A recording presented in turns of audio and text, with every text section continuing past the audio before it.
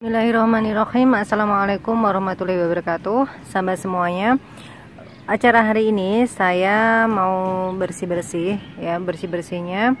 Biasanya kalau kami bersih-bersih itu Kontrol-kontrol tanaman itu ya Seperti uh, mengecek hama dan penyakit pada tanaman Kemudian uh, memberikan pupuk bersih-bersih Dan juga uh, mencabuti gulma Seperti itu Pemberian pupuk dan masih banyak lagi.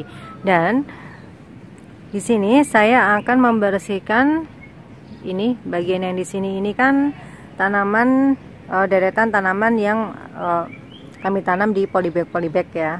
Tuh, mulai dari sini.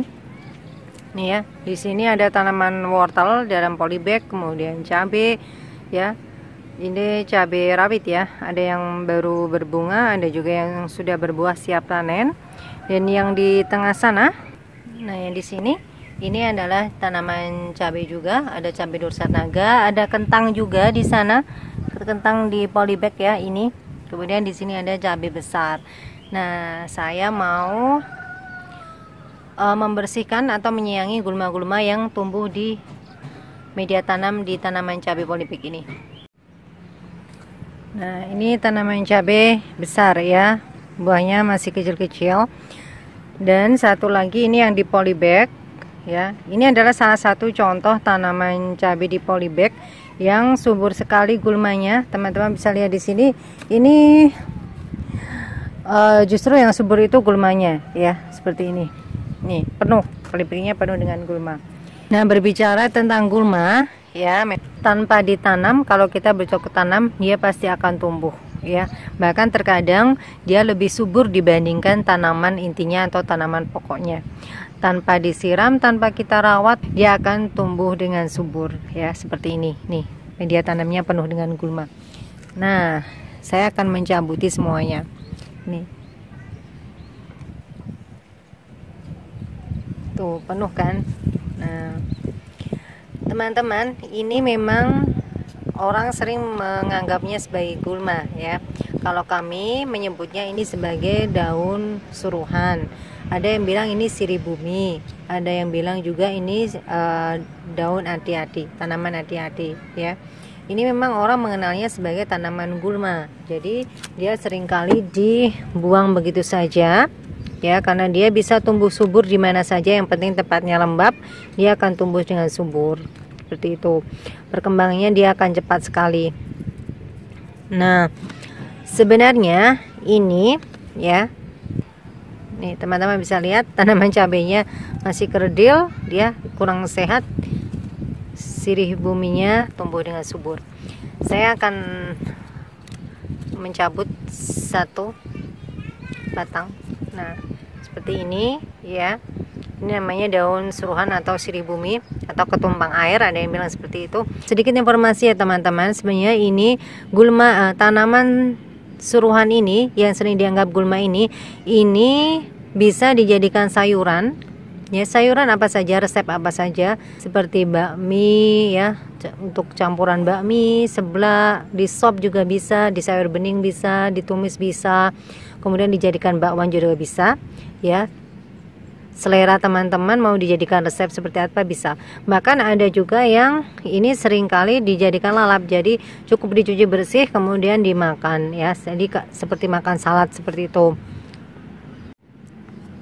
Dan satu lagi yang tidak kalah penting dari tanaman yang satu ini jenis tanaman yang satu ini yang sering orang diabaikan bahkan sering dibuang begitu saja ternyata tanaman daun suruhan ini ini sangat bagus untuk untuk obat herbal. Nah, ini berguna untuk untuk obat alami menyembuhkan penyakit asam urat, kemudian rematik, pegal-pegal dan sejenisnya. Ya. Sebenarnya banyak sih dari pengalaman teman-teman juga, teman-teman kami ya, itu yang memanfaatkan daun suruhan ini untuk obat herbal ya berbagai macam jenis penyakit. Tapi yang lebih sering itu lebih sering digunakan itu untuk pengobatan asam urat ya. Berdasarkan informasi dari saudara kami pernah merasakan manfaat dari daun suruhan ini untuk obat herbal yakni untuk obat asam urat ya alhamdulillah dengan rutin meminum daun suruhan ini air rebusan daun suruhan ini bisa sembuh ya.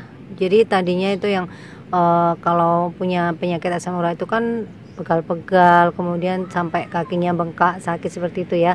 Nah dengan rutin minum ini air rebusan daun suruhan ini bisa sembuh ya alhamdulillah. Jadi daunnya seperti ini seperti daun sirih agak mengkilap ini banyak mengandung air ya. Bagus ini teman-teman untuk obat herbal. Nah tapi semua kembali pada pilihan masing-masing ya yang pribadi masing-masing. Yang namanya berobat itu uh, itu semua pilihan ya. Jadi ini saya uh, hanya berbagi informasi saja kepada teman-teman. Jika memang uh, sudah pernah ada ya kerabat dari keluarga kami yang merasakan khasiat dari daun suruhan ini untuk menyembuhkan penyakit asam urat ya. Ya kalau kita merebus cukup uh, kita bisa ambil. Nah ini satu genggam aja ya satu genggam. Saya beri contoh sekian. Kurang lebih sekian sekian ini ya. Nah segenggam sekian ini ya. Kalau kami biasanya cukup uh, batang dan daunnya saja ya. Akarnya tidak tidak apa-apa nggak lebih higienis ya. Karena kalau akar itu banyak ininya tanahnya. Nah seperti ini cukup satu genggam. Nah kemudian direbus. Bisa ditambahkan ya bisa ditambah sedikit nggak apa-apa. Ini direbus dengan air. Kurang lebih airnya itu 2 gelas atau 400 ml ya kita rebus sampai mendidih kemudian sampai airnya itu menyusut tinggal 200 ml atau tinggal satu gelas ya. Ya baru nanti kalau sudah kita matikan kompornya kemudian kita saring dan kita minum hangat-hangat ya hangat-hangat kuku seperti itu. Daunnya yang sudah direbus boleh dimakan ya. Airnya saja juga boleh ya seperti itu rutin pagi dan sore ya Insya Allah nanti asam uratnya itu bisa sembuh nah kemudian kembali lagi kalau kita mengang ini uh, karena ini memang tumbuh di di antara tanaman pokok ya. Jadi memang mengurangi nutrisi tanaman intinya. Jadi bisa kita ambil, kita cabut saja. Nah, bagi teman-teman yang ingin memanfaatkan tanaman daun suruhan ini ya, bisa di apa bisa dimasak dengan berbagai resep ya. Seperti itu. Nah, kalau ini apa namanya? Ini rasanya enak ya, lembut kalau mau memasak ini kalau mau dimasak itu masaknya jangan terlalu lama seperti bayam itu ya kalau terlalu lama nanti dia jadi lembek ya nah, jadi begitu mendidih udah dibolak-balik sebentar udah matang ya. Kalau terlalu lama nah itu ya lonyot. Nah jadi demikian teman-teman. Sedikit informasi yang bisa kami sajikan tentang daun seruan gulma yang serbaguna. Semoga bermanfaat ya. Kami mohon maaf jika ada tutur kata ataupun penyajian video yang mungkin kurang berkenan di hati rekan sekalian dan jangan lupa untuk terus berdoa kepada Allah Subhanahu wa taala di setiap aktivitas kita agar senantiasa mendapatkan petunjuk darinya. Sekian dari kami. Wassalamualaikum warahmatullahi wabarakatuh.